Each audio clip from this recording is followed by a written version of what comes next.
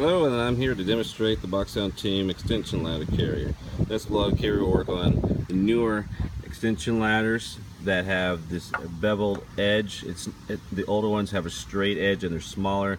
This has the hooks that are bigger so it can go into there and it will work on the aluminum ladders um, because of this small piece right here. It will fit up underneath there. So this will work on the new extension ladders and any um, aluminum extension ladder uh, that's out in the market.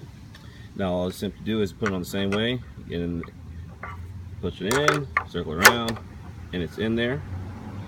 It's in there now. In order to engage it, you're just going to press up there till you hear um, pop. Now it's in there, snug. Now it's not out of place. Gripped onto the ladder. The ladder can still pull up and down, no problem. Now this brace is right here so that um, it can handle a lot more torque of a heavy extension ladder. So on those big extension ladders, you maybe have one at that end and then another one at that end for another person to, to carry uh, when you're carrying an extended amount of time. So um, it makes it a lot easier on your hands.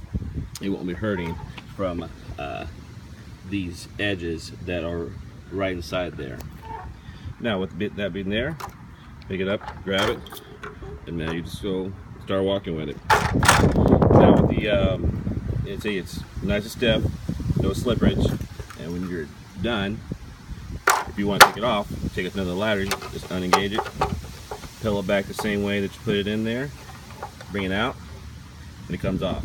Now you have to do that in order to, to take it off, because it won't come off unless you have, unless you pull it back yourself to uh, remove it. So it's really fine to stay on the ladder out in the sun and it won't diminish it because it's ASA plastic so it, it will um, be able to be left on top of your ladder on your car if you want.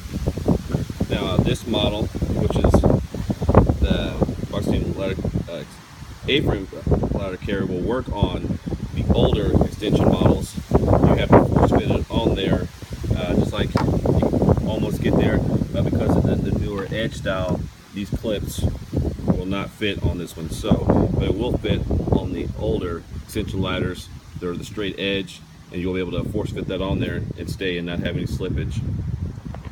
Thank you